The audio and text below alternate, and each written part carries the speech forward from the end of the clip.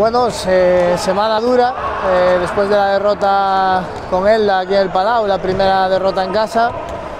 Eh, semana difícil, eh, era importante los dos puntos, el equipo no estuvo bien, es verdad que, que el portero rival puso la persiana y fue muy difícil de, de sacar el partido, pero, pero bueno, toca, toca seguir. Lo bueno del deporte es que siempre hay una nueva oportunidad. Esta semana nos viene el segundo clasificado, el Elche, una oportunidad buenísima para, para volver a coger sensaciones, para ganar un partido importante y meternos arriba de cara a este tramo final.